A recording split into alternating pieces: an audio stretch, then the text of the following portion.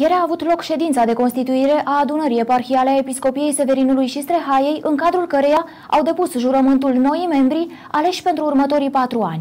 Ședința a fost prezidată de ierarhul mehedințean, care le-a adresat cuvinte călduroase nou veniților. În data de 16 iunie a avut loc ședința de constituire a adunării eparhiale pentru perioada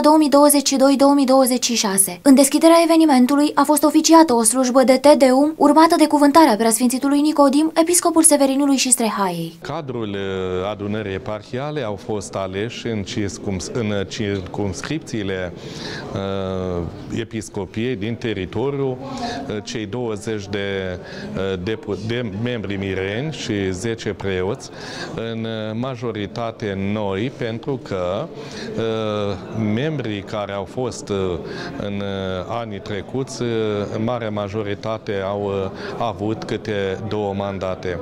După investirea lor, Membrii adunării eparhiale au depus jurământul pe Sfânta Evanghelie și pe Sfânta Cruce, iar mai apoi au semnat jurământul.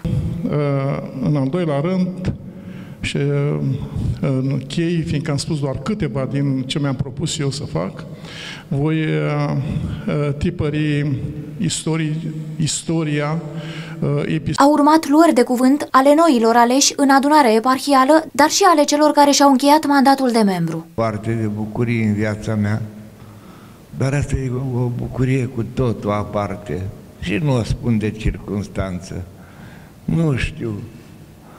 Mă simt așa, parcă plutesc.